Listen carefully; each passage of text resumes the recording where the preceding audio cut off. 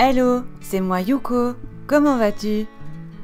Alors aujourd'hui, pour ma nouvelle vidéo, tu vas me voir découvrir ma nouvelle demeure. Après mon arrivée chez ma nouvelle maîtresse, qui sera un jour, je l'espère, ma nouvelle maman, j'ai bien été réconfortée.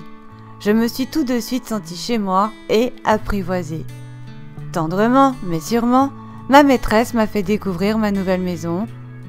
Et ma maîtresse dit que cette nouvelle maison est un flexarium. Malgré quelques réticences au départ, je m'y suis vite sentie à l'aise.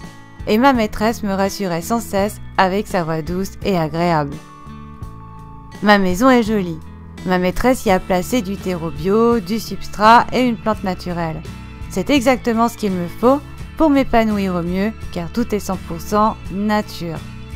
En plus, je dispose d'une lampe UV et d'une lampe chauffante.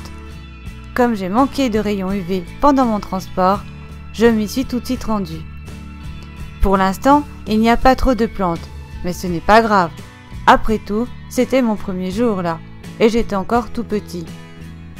Comme tu vois, je prends plaisir à grimper les branches de la plante qui s'y trouve déjà. Ma maîtresse m'a dit qu'elle m'offrirait une nouvelle plante demain. Il s'agit d'un ficus ginseng, une plante tout à fait adaptée pour moi car elle me convient et n'est pas toxique. D'ailleurs, les ficus benjamina, repan et ali sont très bien eux aussi.